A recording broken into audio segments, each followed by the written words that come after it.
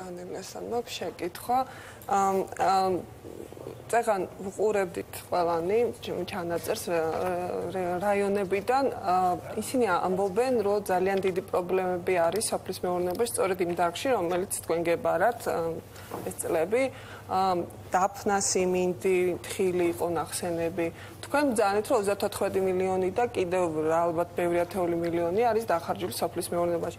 რეალურად შედეგი სახეზე გვაქვს სულ სხვა ამიტომ ადამიანებია ცოცხალი ანუ ფიზიკურად როცა ჩვენც გქონდა ანალოგიური გამოკითხები, სულ სხვა რაღაცას გველაპარაკებენ. თქვენ გველაპარაკებით სულ სხვა რამეს და რატო ასეთი აცდენა თუ კი თქვენ მართლა ხარჯავთ ამხელა თანხებს საფსმეურნობაში?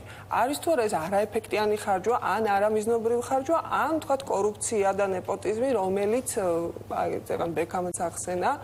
რასთან გვაქვს საქმე რეალურად, როცა ასეთი დისბალანსია, თქვა დახარჯულ ფულსა და რეალურად შესრულებულ სამუშაოებს შორის.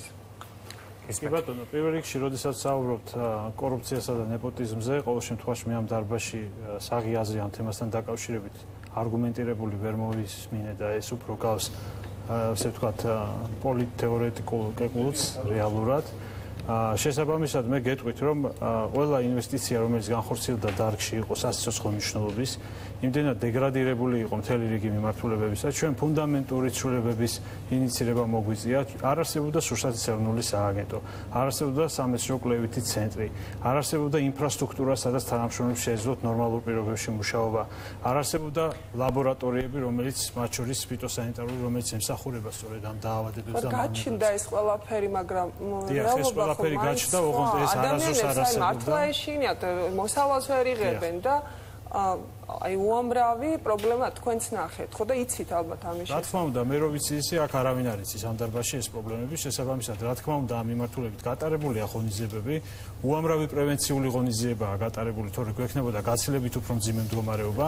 ის მავნებლები, რომელიც არის ახალი სახის მავნებლები, რომელიც არ ახასიათებდა აქამდე, გახლავთ კვლევის საგანი, რომელიც შესწავლილია და 2017 წლიდან იგეგმება სახელმწიფო პროგრამების შემოღება იმ მავნებლებთან დაკავშირებით, რომელიც არის მასიური რისკის საგანი. შესაბამისად მე კიდევ მინდა გითხრათ რომ საერთოდ მობილიზება დარგში იმ აგრო დაფინანსებისა რომელიც 2011 წელს 59 მილიონ ლარს აღემატებოდა 600 მილიონ ლარს ხდება ეხლა.